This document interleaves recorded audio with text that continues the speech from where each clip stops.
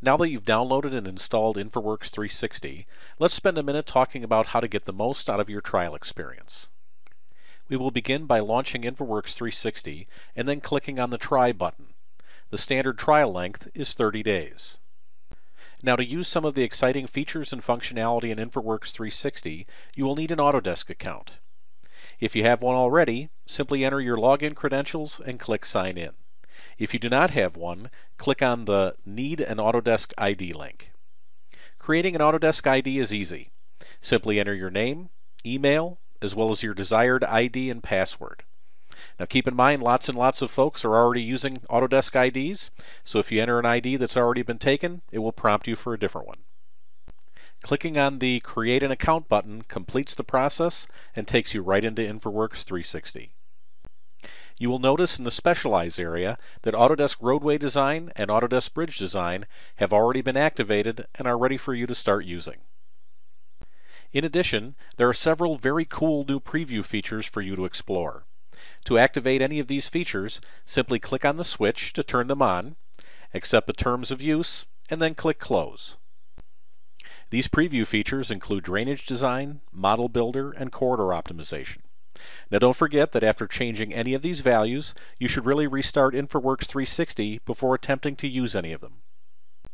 Finally, InfraWorks 360 includes cloud services, which allows you to publish your models and collaborate with others. If you would like to try this functionality, simply click the 30-day free trial link in the Collaborate section. Log in using your Autodesk ID and password. Once logged in, you can add InfraWorks 360 Cloud Services to your Autodesk ID by entering a name and clicking Create an Account.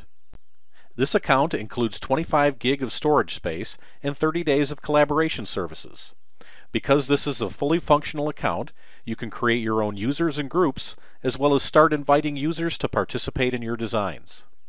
To see your newly created default group, click on the Sign Out button under Collaborate and then sign back in using your Autodesk ID.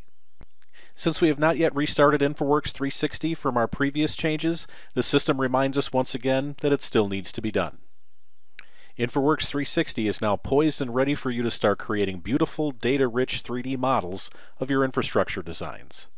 Now rather than me leaving you with a blank canvas, let's quickly use the Model Builder preview to get you started. We'll begin by clicking on the Model Builder preview link under Model. Enter a location in the United States you would like to work with, Use your mouse wheel to zoom into your area of interest and then give your model a name.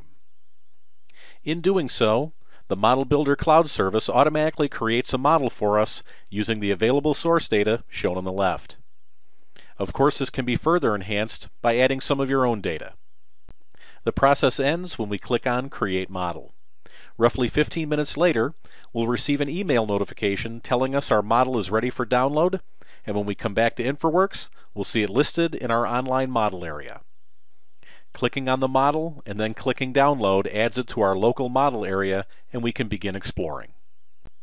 Well that's all for now.